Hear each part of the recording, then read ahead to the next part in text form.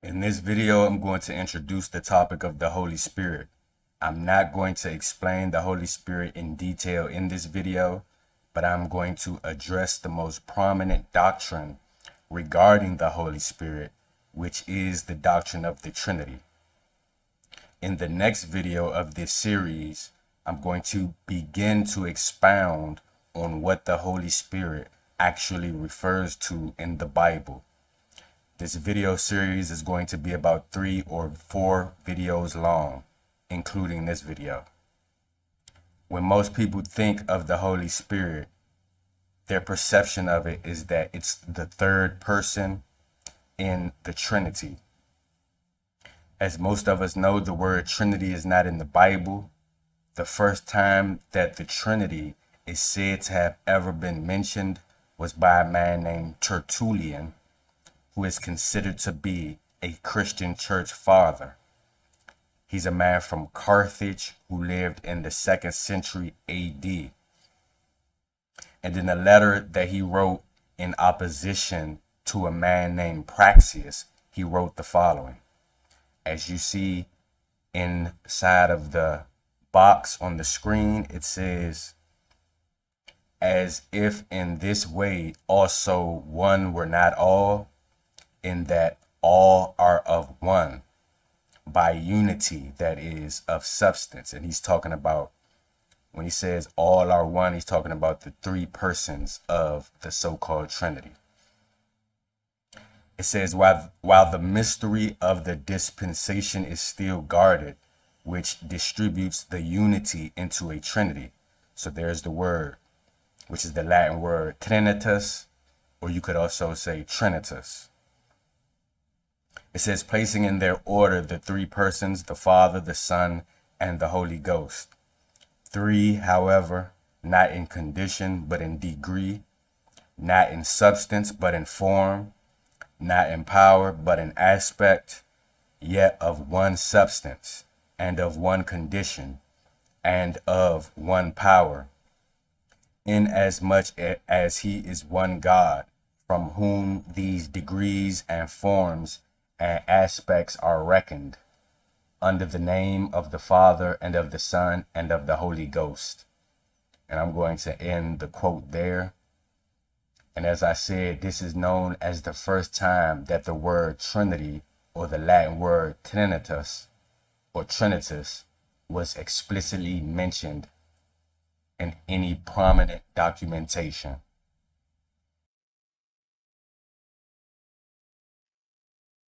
Primary reason why this doctrine was able to become so dominant within the religion of Roman Christianity is due to this document that you see on the screen called the Nicene Creed, which was first established at the First Council of Nicaea, which was held in 325 AD in what is now Iznik, Turkey by the emperor of Rome named Constantine.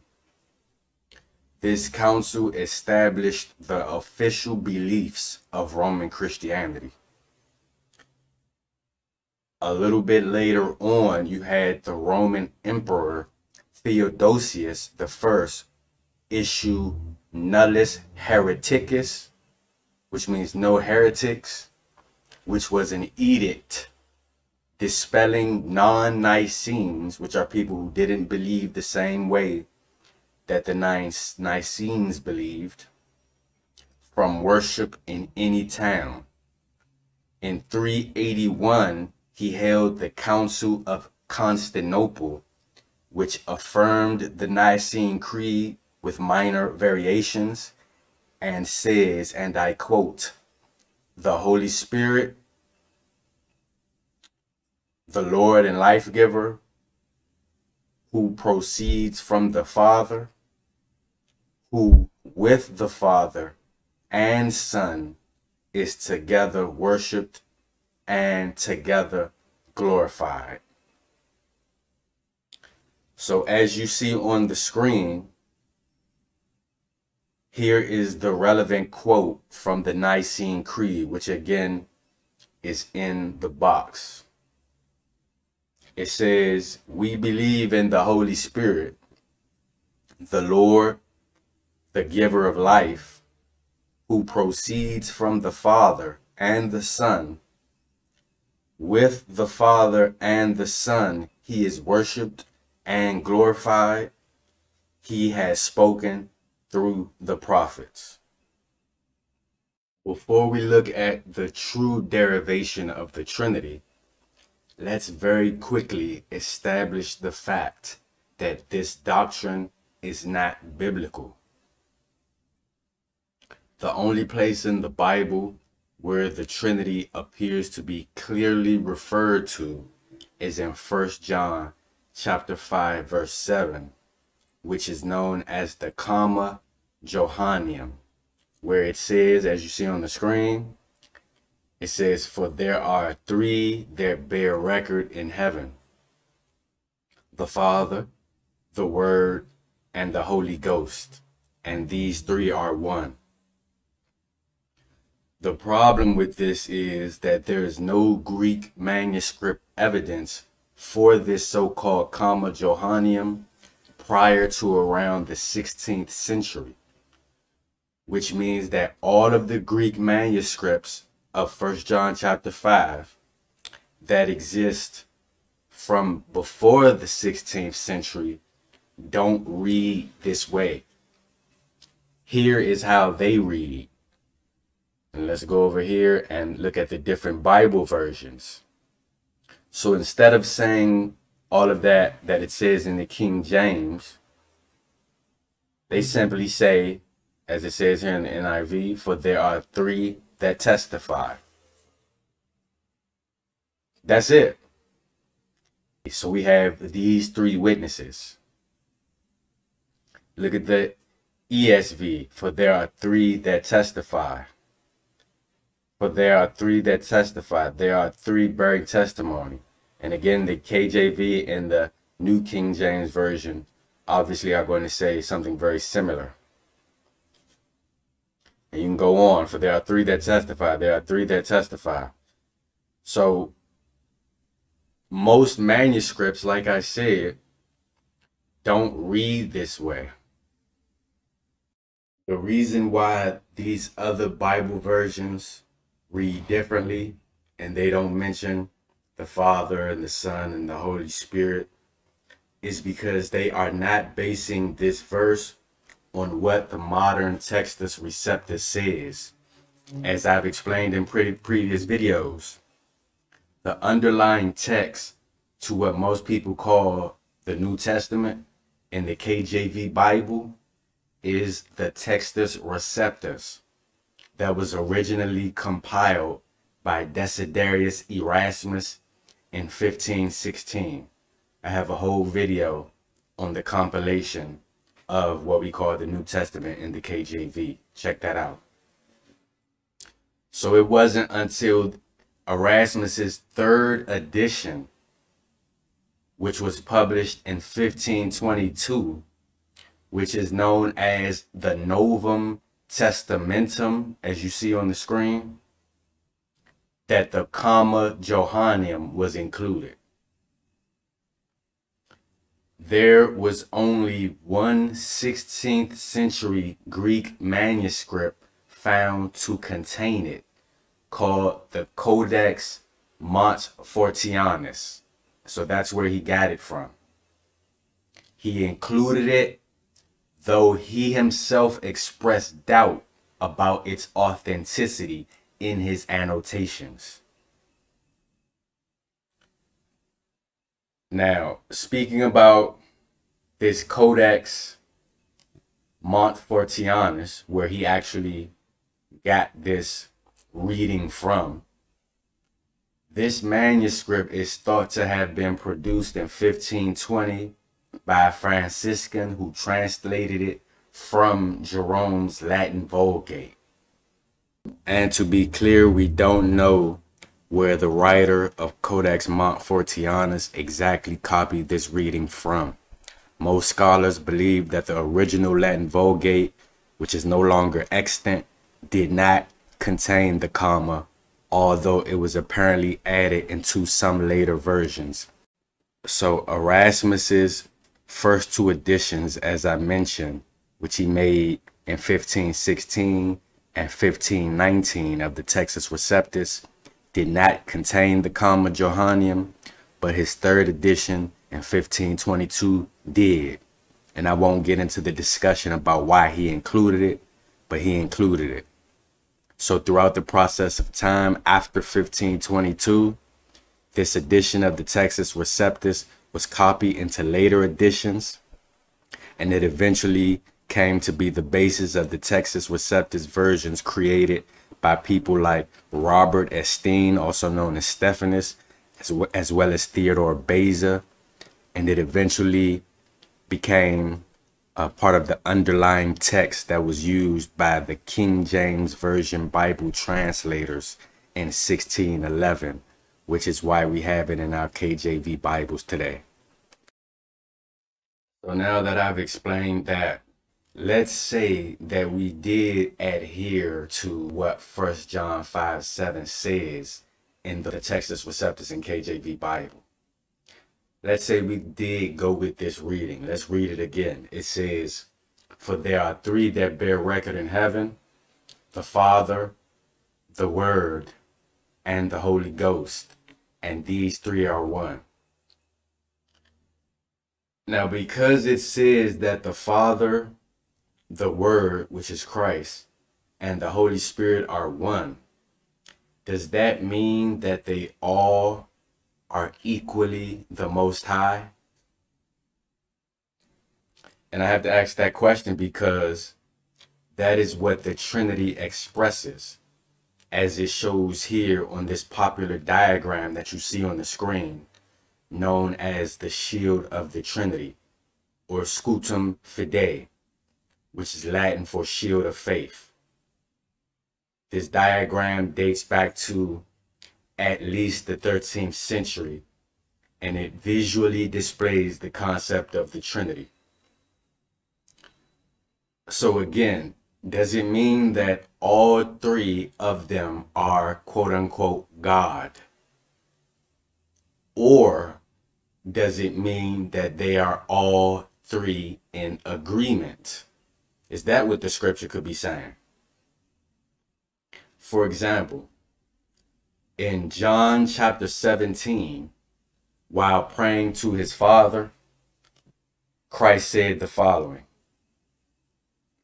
He says, Neither pray I for these alone, but for them also which shall believe on me through their word, that they all may be one, as thou, Father, are in me, and I in thee, that they also may be one in us, that the world may believe that thou hast sent me. So here in verse 21, Christ is saying that his disciples and followers should be one with him and his Father. That's what he just said. He said that they all may be one, as thou, Father, art in me and I in thee, that they also may be one in us. So here's my question. Does that mean that we are the most high as well? Because remember, we're all we're all one, right? No, it doesn't mean that we are the most high it means that we should be on one accord and in agreement with Mashiach and his father. So instead of believing in a concept that has pagan origins, as I'm about to demonstrate, we can use basic reasoning as well as reading skills to know what First John chapter 5 verse 7 is referring to. There is nowhere in the Bible where it says that there are three most highs or that there are three most highs combined, combined as one most high. When you read in the Bible about the throne of heaven, you consistently hear about the Father on his throne with his Son at his right hand. You never read about a third entity. For example, in Acts chapter 7, when Stephen was stoned, before he was stoned to death, he said, here in verse 56, as you see on the screen, it says, And said, Behold, I see the heavens opened, and the Son of Man standing on the right hand of God. Why didn't Stephen mention the third entity? It's because it's not there. You have the Father and you have his only begotten Son. Mark chapter 14, verse 62. It says, And Jesus said, I am, and ye shall see the Son of Man sitting on the right hand of power and coming in the clouds of heaven. Again, same thing. There's no third person. Luke chapter 22, verse 69. Hereafter shall the Son of Man sit on the right hand of the power of God. How come the third entity is never mentioned when speaking about the throne of heaven? Ephesians chapter 1 verse 20. It says, which he wrought in Christ when he raised him from the dead and set him at his own right hand in the heavenly places. So that was the Father sitting Mashiach at his right hand. Psalms 110 verse 1 says, The Lord said unto my Lord, this is David talking about the Father and his Son. He's saying that the Father said to the Son, that's who he's referring to here, Sit thou at my right hand until I make thine enemies thy footstool. Again, there's many more scriptures that refer to the Father with his Son at his right hand, but there's never a third entity mentioned at the Most High's left hand or sitting beside the Messiah, etc. It's not there. The Trinity concept is not found in the Bible because it can be traced back to the Babylonian mystery school religion. As it says on the screen, the Trinity got its start in ancient Babylon with a Nimrod, Tammuz, and Semiramis. And hopefully I'll be speaking about Nimrod and Tammuz and Semiramis more in future videos. It says, Semiramis demanded worship for both her husband and her son as well as herself. She claimed that her son was both the father and the son. Yes, he was God the Father and God the Son the first divine incomprehensible trinity. And that's from The Two Babylons by Alexander Hislop, page 51. As you see on the screen, it says the family of Osiris, the protagonist of the Osiris myth. Osiris is depicted on a lapis lazuli pillar in the center, flanked by Horus on the left and Isis on the right in this 22nd dynasty statuette, and that's talking about the 22nd dynasty of Egypt. You have some people who argue and go back and forth about Babylon and Egypt, which was first, the culture in Egypt or the culture in Mesopotamia slash Babylon or Sumer, etc. At the end of the day, all of that's a waste of time because when you understand the scriptures, you understand that Noah had three sons and you understand that the progenitor of the ancient Egyptians, the dynastic Egyptians, is Mizraim. And you understand that the progenitor of the ancient Babylonians is Nimrod and his father Cush. And you understand that these are all sons of Ham and they are all family. So at the end of the day, that argument is futile. This is something that originated with ancient Babylonian and Egyptian or Cometian myths. Albert Pike, the well-known sovereign grand commander of Scottish Rite Freemasonry, who lived in the 19th century, wrote the following in his Morals and Dogma of the Ancient and Accepted Scottish Rite of Freemasonry. He said, Our northern ancestors worshipped this triune deity Odin, the Almighty Father, Freya, his wife, emblem of universal matter, and Thor, his son, the mediator. As you see on the screen, it says Trikaya. It says Trikaya, Sanskrit, three bodies. In Mahayana Buddhism, the concept of the three bodies or modes of being of the Buddha, the Dharmakaya, body of essence, the unmanifested mode, and the supreme state of absolute knowledge, the Sambhogakaya, body of enjoyment, the heavenly mode, and the Nirmanakaya, body of transformation, the earthly mode. The Buddha as he appeared on earth or manifested himself in an earthly bodhisattva, an earthly king, a painting or a natural object such as a lotus. The concept of Trikaya applies not only to the historical Buddha, Gautama, but to all other Buddhas as well.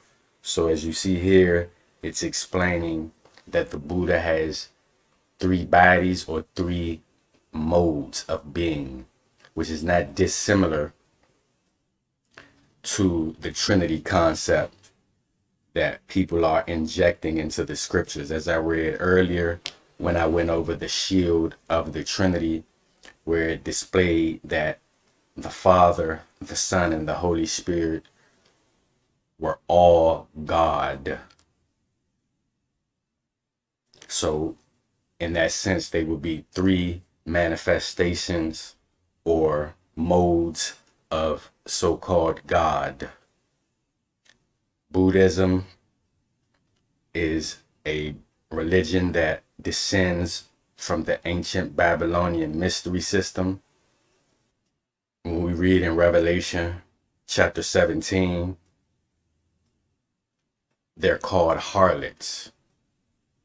The mother of harlots would be Babylon or what's manifested today in the Roman Catholic Church, which embodies the Babylonian mystery school system.